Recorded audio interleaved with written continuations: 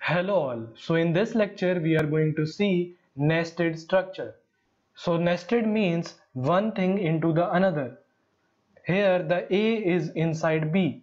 So A is nesting B. Right? Now let's see how to nest a structure. For that let me give you an example. So let's say this is a structure whose name is first and it is having a member that is int x. Right? Now after that let's create another structure that is second. Note here that in spite of using predefined data type we are using this user defined data type into this structure. So we are nesting a structure. We are using structure inside a structure. Right?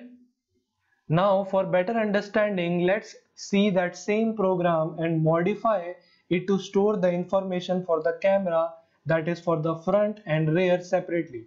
For that we will be using nested structure. So let's hop over into Visual Studio. So this is our same previous code that we have written. Now let's create another structure that is struct camera. And in this camera we want to store information of front and rear. So we will write int front and int rear right? Now in this phone structure in spite of using the predefined data type for the camera we will use camera data type only.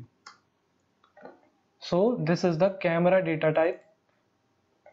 Now in the camera we are going to store camera for front that is 13 megapixel. Now for the rear that is moto dot camera dot rear equals to let's say 16 megapixel. Similarly when we are printing the data we will write camera front equals to camera dot front. And for the rear we will write right? Now let's run our program again to see the output so you can see that we have successfully stored the front camera information and the rear camera information. Right?